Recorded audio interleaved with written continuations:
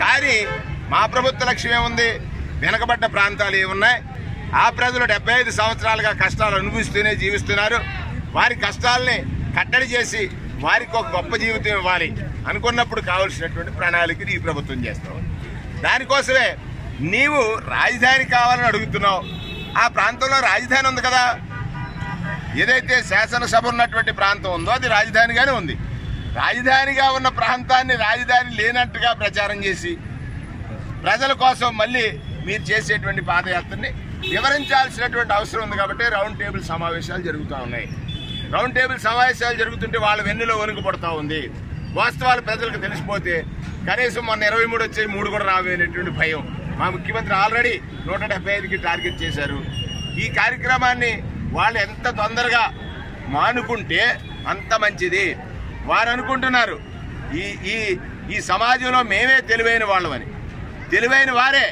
కానీ మీ తెలివి ఎక్కువైపోయి ప్రజల్ని మోసగించేదిగా మారిందని ప్రజలు గ్రహించారు. ప్రజలు గ్రహించారు కనుకే ఈరోజు మీరు చేస్తున్నటువంటి పాదయాత్రలో ఉన్నటువంటి నిజానిజాలు ఏమిటి ప్రజావసరాలు ఏంటి వాటి పట్ల ప్రభుత్వ నిర్ణయాలు ఏమిటి ప్రజలకు వివరించడం ఈ ప్రభుత్వంలో ప్రతి ఒక్కరి యొక్క బాధ్యత. ఈ పౌరుల యొక్క బాధ్యత. ఇది గనక జరగకపోతే భవిష్యత్తులో వెనకబడిన ప్రాంత ప్రజలకి తీరని అన్యాయం తీరని అన్యాయం చేసిన వారుగా ఈ ప్రాంతం వారు ఉంటారు ఈ రాష్ట్ర ప్రజలందరూ ఆలోచించాలి.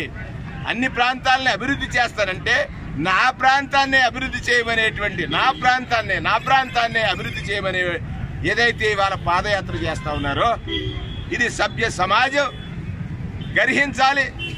వ్యతిరేకించాలి. అవసరమైతే ప్రభుత్వానికి వెన్నుదన్నుగా నిలిచి వారు అనుకుంటున్నారు మా మాటలు వింటారని. కానీ ఈరోజు శరణ్ నవరాత్రి సమయంలో ఈ రాష్ట్రంలో ఉన్నటువంటి ప్రతి వ్యక్తి వాణి బాణమై తెలుగుదేశాన్ని అంతం చేస్తుంది. జై జగన్!